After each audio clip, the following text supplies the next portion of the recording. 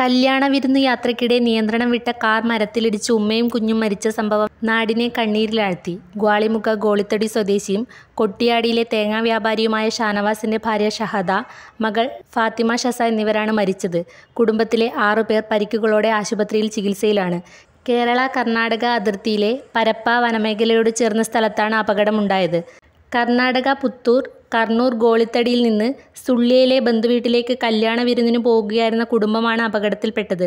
ഗ്വാളിമുഖിയിൽ നിന്ന് പരപ്പയിലെത്തിയപ്പോൾ മഴയുണ്ടായിരുന്നു. വേഗതയിലായിരുന്ന കാർ റോഡിൽ നിന്ന് തെന്നിമാറി മരത്തിലിടിക്കുകയായിരുന്നു.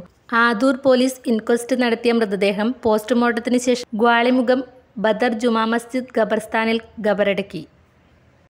മലയോര മേഖലയിൽ ആദ്യമായി പടിഞ്ഞാത്ത് ഗോൾഡ് ആൻഡ് ഡയമണ്ട്സ് സമ്പൂർണ എച്ച് ഐ ഡിയിലേക്ക് I S O B I S അംഗീകാരങ്ങളോടൊപ്പം നൂറ് ശതമാനം ആഭരണങ്ങളും ഹോൾമാർക്ക് ചെയ്ത മലയോര മേഖലയിലെ ആദ്യ jewellery Padinjath gold and diamonds.